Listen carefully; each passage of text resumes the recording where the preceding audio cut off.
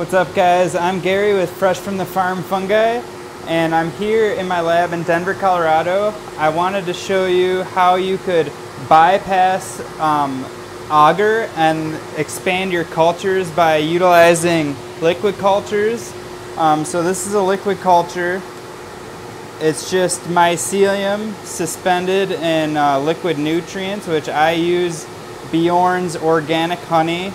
Um, and essentially, these can be refrigerated and stored uh, for a very long time. So that's why I keep a lot of liquid culture on hand. And um, I believe that they're a little bit faster for colonization and you can always you know put liquid directly onto agar if um, you need to QC your liquid culture or if you're trying to um, store it for long term or just uh, reintroduce it into your grow. So um, I've got two different methods that I use. Um, I just wanted to show uh, a little bit of an easier method in case you don't have a laminar hood. Um, so I've got a, a pint sized jar here and it's got this injection port which is perfect for liquid cultures with a, a gauged needle right there. So uh, the ports are nice because it keeps everything sterile. Um, and one of the problems with liquid cultures is it's so nutritious that a lot of competing organisms will um, contaminate it very quickly. So it's important that you have a clean liquid culture to begin with.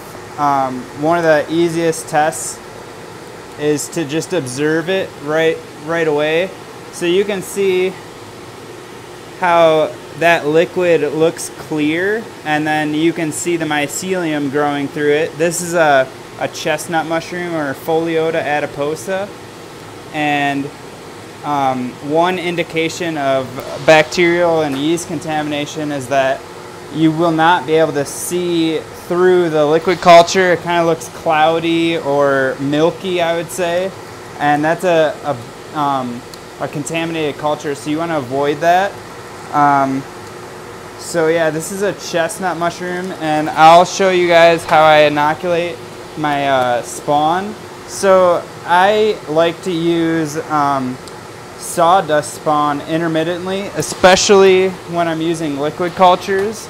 Um, I have a lot of reasons for that. I think that, you know, spawn is a, a great way to expand and the sawdust does not contaminate as easily as uh, some of the grain spawns and it's a lot cheaper and um, I just believe that it stresses out the mushroom less when it's going from my uh, my sawdust spawn into my bulk substrates. Um, so I'll go ahead and inoculate my chestnut um, to my pint liquid sawdust spawn. Alright. Okay, so I hope you can get a good view here of what I'm working with. Um, I like to uh, use the lids upside down um, so that when I finish inoculating, I label with these dry erase markers. Uh, they work really well, so you can write uh, what strain and the date and all of uh, your tracking information on there. And then when you go to wash the jars, they rinse off really easily. So these lids will last me, you know, a couple years I get out of them um, until the top starts to degrade. Like it'll, it will rust through eventually. Um, but for this injection port, um, if you did not have a laminar hood, you could always just spray it with alcohol and let it dry. Um, and that's going to help keep that needle sterile or aseptic as it's going going into the culture. So here's my pint-sized jar and then um, once again here's my liquid culture. You can see how clear and healthy it is. Uh, the chestnut is kind of a little fluffier compared to some of the other mycelium, like lion's mane tends to get really stringy. So I'll just go ahead and open this up and Um, another thing that I do with my liquid cultures is you can see that there's a layer of parafilm on there. I like to include that as an extra precaution. Um, sometimes, you know, the cap could get loose, or and some people like to put screw caps on there, which is another good method. Um, but this eliminates, you know, taking off the, the needle or the screw cap and reapplying it, which that could contaminate the, the liquid culture. But you can see right there how healthy this culture looks. And the first thing you, you should always do is um, shake them. Or if you have a vortexer, it's really nice. So you could just pop it on the vortexer. But this looks like a really healthy culture and um, it should go go pretty smoothly. So the first thing I'm going to do is take off that parafilm layer and I'm going to try to do that without removing the needle from the base. Alright, so now that that's off, um, I'll take the cap off the needle and the alcohol is dried. So if you do not have a laminar hood like I'm doing right now, you can use a lighter or uh, alcohol flame and sterilize the needle at this point and then you want to uh, cool it off but because I just opened this and it's sterile I'm gonna go ahead and inoculate into that port. So it's pretty easy. You you just want to put the needle in and I always try to aim for the sides. And for a pint sized jar 10 mils is a perfect amount so while I was inoculating I was trying to aim in all four sides so that the mycelium will kind of drain out. And then after it begins to colonize you can always shake shake the substrate but this is a really fast strain so it will probably colonize in a week. Um, and then from here I will go ahead and label it. So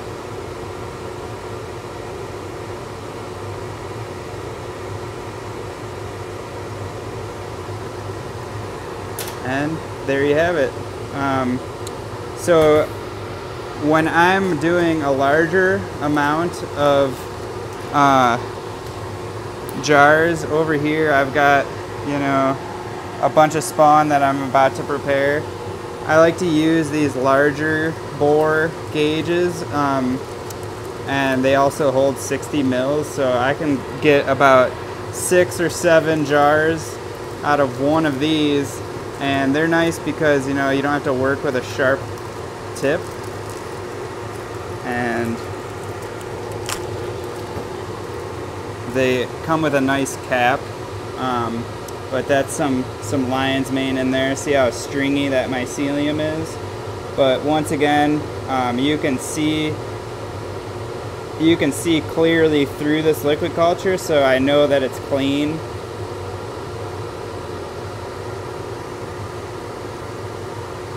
But yeah, so for the larger syringes, I'll just go ahead and unscrew this cap off and you can see some air bubbles in there. Um, that'll be okay. And then I'll go ahead and take one of my half pint size and just give it a little squirt.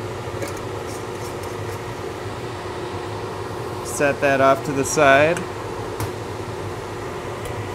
Go to my next lid.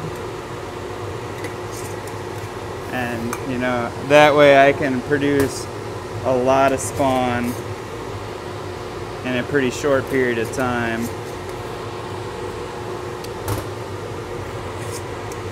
And another thing I like about these uh, syringes is that they are um, re-autoclavable. So I can actually reuse these a couple times.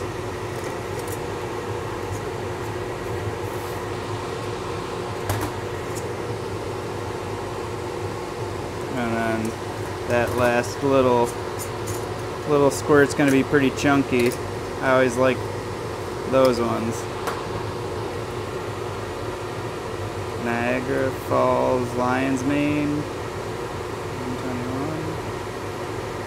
And I'm indicating the LC1 because this is a first generation liquid culture.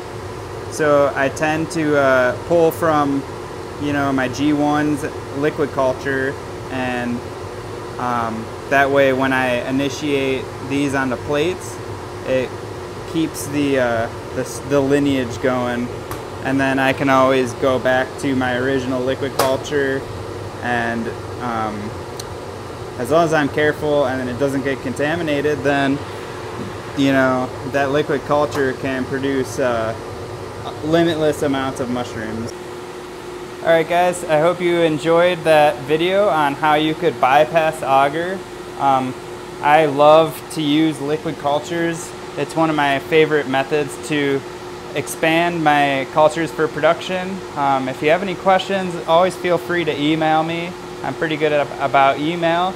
If you enjoyed this video, give it a thumbs up. If you are looking for more um, educational content about mycology and uh, growing mushrooms, then subscribe and spread the word. I really appreciate you guys. Um, I really, really enjoy teaching about growing mushrooms and um, look forward to adding some more content coming up here. So much love.